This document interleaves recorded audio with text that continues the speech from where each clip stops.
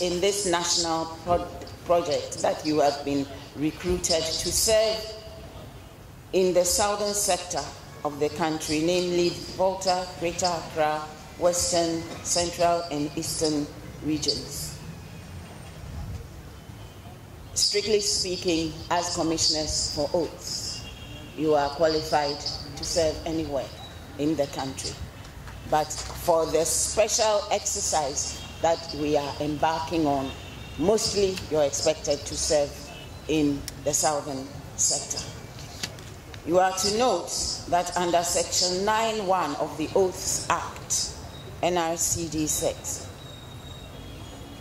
and Regulation 56 of the Judicial Service Regulations, LI 319, you are to administer only lawful oaths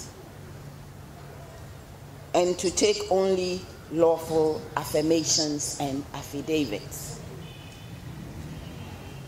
And remember that any oath, affirmation, or affidavit that is in violation of the Constitution of Ghana or any statute in force, such as the Statutory Declarations Act of 1971, the Oaths Act, and the Citizenship Act, is unlawful.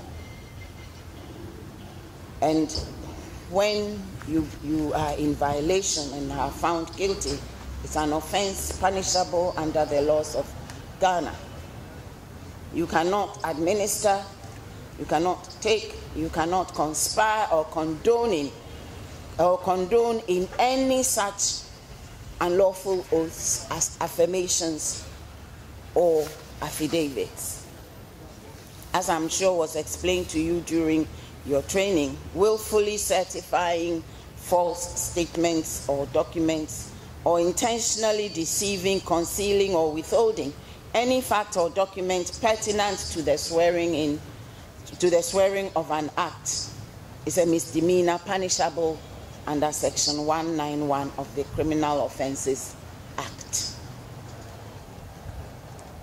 Thus, for example, you should not, under any circumstances, swear in anyone that you have not seen in person or whose claims you cannot verify.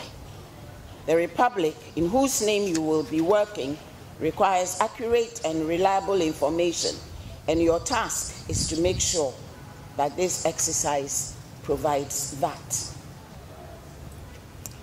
As commissioners for oaths, you will be overseeing the swearing of oaths and making of affirmations by persons who do not have the requisite documents to establish their citizenship status comprehensively in the ongoing national identification exercise. This means that the integrity of this sensitive national exercise now lies to a significant extent in your hands. It is most important that every commissioner for oath performs their duty with all due care, paying the greatest attention to the details and essence of the law that guide the assignment of a commissioner for oaths and that particularly guide this particular exercise.